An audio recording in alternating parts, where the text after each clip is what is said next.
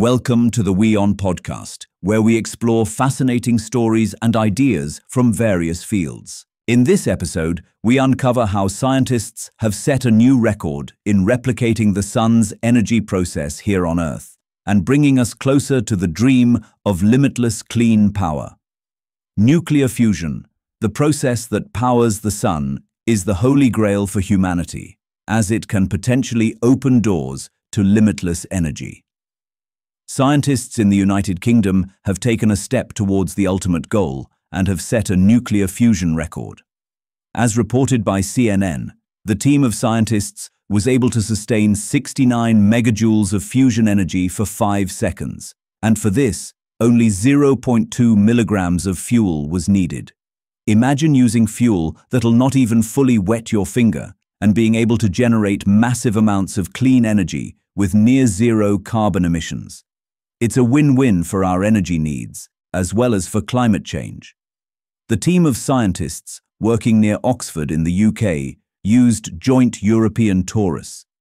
It's a huge machine the shape of a donut. The machine is also called tokamak. Scientists fed deuterium and tritium to the machine. These are isotopes, or in plain language variants of hydrogen. The team then raised the temperature to 150 million degrees Celsius. This is 10 times hotter than the solar core. At this temperature, the hydrogen atoms fused to become helium and generated a large amount of energy. This is basically what happens during nuclear fusion in the Sun. Our successful demonstration of operational scenarios for future fusion machines like ITER and DEMO, validated by the new energy record, instill greater confidence in the development of fusion energy, said Ambrogio Fasoli, CEO of Eurofusion, the group behind the experiment. Fasoli was quoted by CNN best scientific brains in the world are indeed working towards achieving nuclear fusion on Earth on a viable basis. Clean energy is something that's going to definitely shape the future, but for now, that goal may be year ahead. This is a great scientific result, but we are still a way off commercial fusion.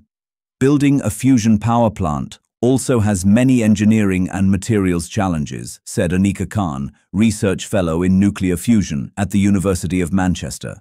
However, investment in fusion is growing, and we are making real progress. We need to train a huge number of people with the skills to work in the field, and I hope the technology will be used in the latter half of the century. Thanks for tuning into this incredible story.